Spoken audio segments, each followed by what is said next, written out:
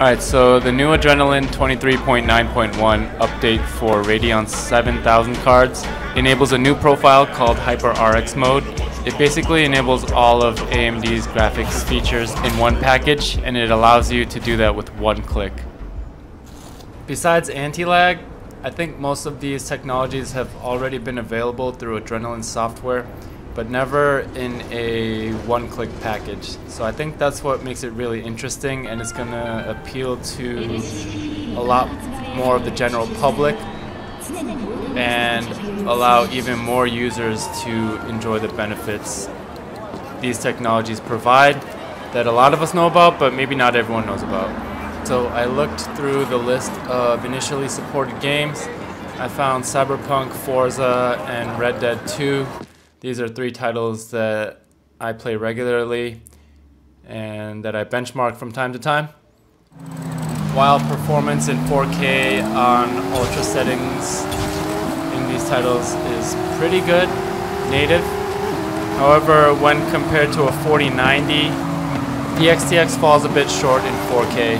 And this is natural, I think the 4090 doesn't have any true competitors right now but I think this HYPR-RX button can kind of close that gap and provide more value.